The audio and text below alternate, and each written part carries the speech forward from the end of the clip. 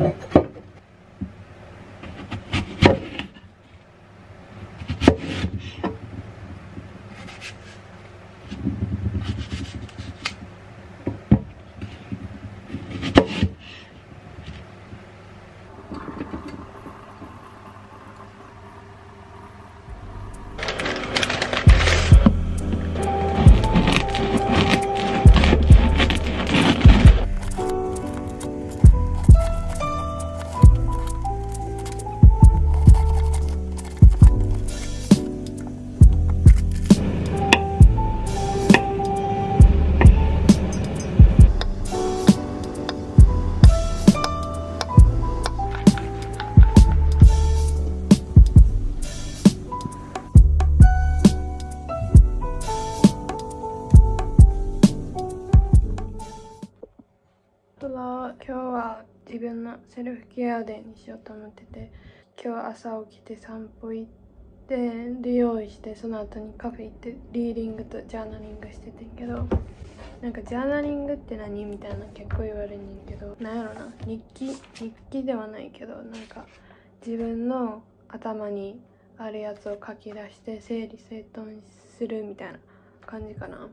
なんかとりあえず自分の思うことを書いたりあとは Pinterest で Journal for Dreams とかなんか調べてあいいなって思ったやつのタイトルみたいなを真似して書いてあとの部分は自分の思うことを書くみたいな感じかな。あとはなんかスペンディングトラッカーとか自分が月に使ったお金とかあとは自分の dream life 自分の夢に描いてる人生とはどんなんみたいなでどうやったらそれを achieve できるか達成できるか。でそれを自分の夢を達成した自分を今の自分はどう思うかみたいなを書いたりしてます。今日はカフェに行ってジャーナリングしてあとはこのストレスのあのスマホ脳の著者アンディシュ・ハンセンの新しい本多分スマホ脳より売れてるらしいストレス脳っていうのを今読んでてこれも面白い。やっぱこの人の本好き。なんか脳の働きについてとかめっちゃ専門的な感じはするけどまだ読みやすい。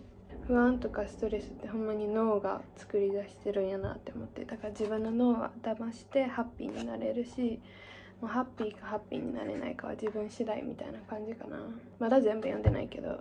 I'm halfway through まあ半分ぐらい。最近週末とかに下北沢に行って古着行くことが多くて。で最近結構買ったから古着で買ったものを紹介しようかなって思います。まずこのリーバイスのコーデュロイのパンツ。ウエストとかもちょうどよくてこのベージュの色のコーデュロイってめっちゃ秋って感じじゃない？だから可愛いって思って買ってこれは何円ぐらいやったかな？1600円ぐらい。じゃあ安かった。次はこのなんかよくわからんライオンの感じの白のフーディー。今まで持ってなくて肩こるかあんま好きじゃなかったんけどまあ着てみようって思って。これは900円ぐらいかな。これもフーディーやねんけどハンハリンハティントンラウンジャーズ I don't know how to pronounce チャンピオンのフーディーでめっちゃ着心地よかったから買いました。これは1600円ぐらい、まあ、チャンピオンの古着にしては安いなって感じ。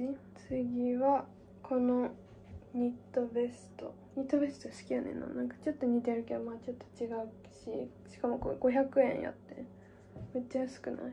次はこのポロの V ネックのグレーのニット。これ1000円ぐらいやって。試着もしてめっちゃ安い。なんでこんな安いめっちゃいいやん。買おうって思って買ってんけど。に There is a little paper art stain in here. ここになんか見えるかな?これやこのなんかシミみたいなのがあって家帰って気づいてんけどまあこれやから1000円で安いんかって思って。That's why it was cheap. But I don't mind. これが最近買った古着たちかな。